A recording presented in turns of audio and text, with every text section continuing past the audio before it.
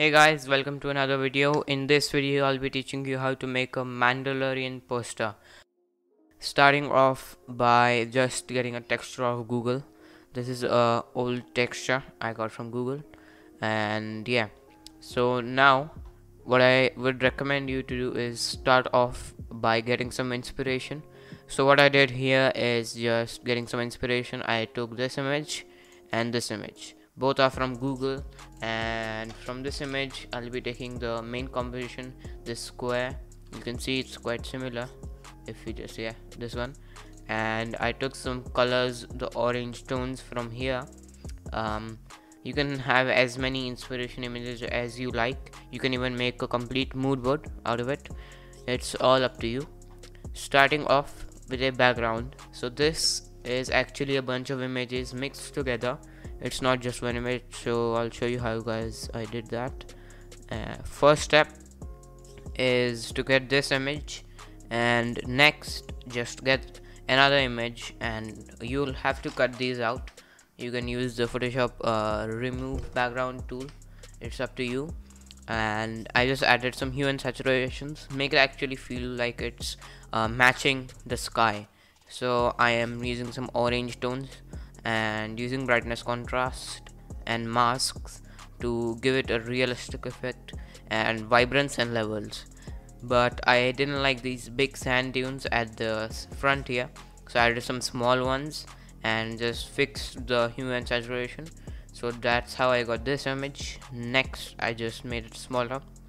And uh, starting off I wanted to add the characters as always and just follow my uh, normal process. So get an image and I just faded it from the bottom. That's just how I do it. I know some people don't like it but uh, it's just person personal preference. And yeah. Starting off brightness contrast. You can see my settings here. And levels. Photo filter. Color lookup. Uh, color lookup is very important. What I recommend you do is get multiple color lookups on one layer. So you know I'll give you an example further into the tutorial. Uh, right now just go through it. And using blend modes uh, with adjustments is a great tip as always. Uh, I'm using some rim lights and I'm using the blend mode screen. So it gives you this nice look. Again levels. It's okay to use adjustments again and again. I do it a lot you can see here and I added a lens flare. I do this on most of my posters. It's not necessary but in my opinion it gives the posters a better look. So next I added the Mandalorian spaceship. Uh, for this all I did just cut the image out. Brightness contrast same procedure. Uh, you can see my settings here. Uh, levels I am just this looked a little bit too bright for me. I kind of lowered that brightness and vibrance lowered the vibrance too and got that orange look using some color lookup color balance sorry and photo filter color lookup. As I said I use multiple color lookups so I use it three times here. And this is a good example of how you should use it. It's a very important uh, adjustment that you should definitely learn and it is very handy. So I'm just adding more color lookups here giving it that orange look and because it's flying I'm gonna add motion blur on. So that's how it looks. I just took all of this merged it and uh, erased some parts. So that's how I got this effect. Next up I added this animal. I don't know its name but uh, leave comment down below what's its name. I want to know. Uh, this animal and I wanted to add some orange tones make it feel like it's actually in the composition and brightness contrast made it a little darker. You can see my settings vibrance punched up those vibrance and photo filter getting some yellows orange look again. And as I said I always use multiple color lookups so that's what I'm doing here. And just keep on adding these and then rim lights. These really change the look of how this looked. So I definitely recommend you do that I am using a Wacom tablet for this but you can use your mouse too. I use this setting here up here to add these uh, really sharp looking uh, rim lights. Next up I added the one and only Baby Yoda who is currently trending all over the internet. And it was very green first at first. Uh, I want to add that orange look again to make it feel more natural in the composition. Adding color balance uh, helps with that. So you'll see me use that multiple times in this uh, layer. Brightness contrast again and again. Color balance photo filter color balance color lookup sorry. And, and again I'm using color lookup multiple times and adding rim lights. So it's looking pretty good now. You can just see my settings what I'm using here next up I added the trash compactor. Uh, I want to add this since it looked uh, pretty cool the diagonal shapes and whatnot. So again it was pretty stale no colors on it no tones. I wanted to make it a little you know yellow toned. Brightness contrast make it darker. And adding some contrast with levels. Vibrance getting some saturation in there. Um, color balance making it yellow.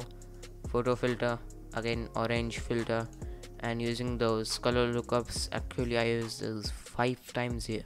So you can see just how useful uh, those are. That's how I got this result. Oops.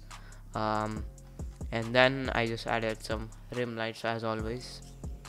And those are the uh, basic main characters the main composition. It's looking pretty good now but I wanted to add some lights some uh, source lights. So I added some lights behind Mandalorian uh, using hue saturation and I want to add these on these other uh, things too.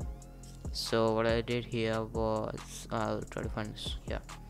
So just adding some more lights here using light and color and then just normal uh, color.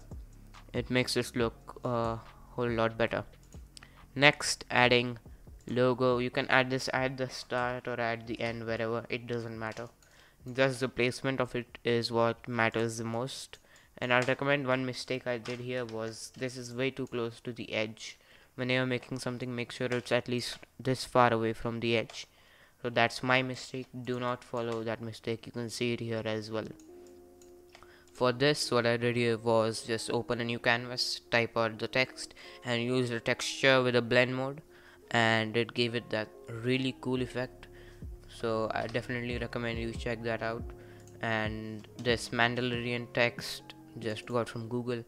And color corrections the most important part in my opinion. So as you saw in the inspiration at the start of the video I wanted to get some oranges uh, going. This was pretty yellow at this point and I wanted to add some orange tones to it so that's what I did with this color correction. Uh, you'll see. Let's go through all of these. Starting off this is basically the main one. Just sliding the hue slider uh, from the left side minus 5 giving it that orange look. Color balance getting some uh, yellows there. But after this point I added another photo filter I thought some blues were lost and it was completely orange. So that's what I'm doing in the next steps. Color use color lookups. I'm using those to add some blues back. So you can see here my settings. Adding some blues levels. Use levels wisely. They can really drastically change it. For example I'll show you. If you just slide it that much it's going to completely ruin the image. So use those wisely. And this as well. Next up all I did was it base it was basically done at this point uh, what I do from here onwards is just take all of this shift click control J to duplicate it wait for it uh, control E to merge it into just one simple layer and I'll show you what I do next. This is what I do for all of my designs by the way. So if we just move it around you'll see this all unnecessary junk around the poster. We don't need that. Uh, to get rid of that just get the marquee tool and then just make a selection around the complete image and click layer via cut. What this does is removes all of that junk from image and now if you just move it it's just the image itself. So it'll really help you out and you should do this at the end of basically every design you make. Next what i'm doing is adding camera presets. I'd suggest don't use presets just it's pretty easy. Just slide everything around see what works best for you. And yeah so i'll just uh, go through here some of these effects. Maybe try to find the one uh, I use for the original design here. Uh, Mandalorian let's see if you can find it. The Mandalorian no that's not it. Let's find it here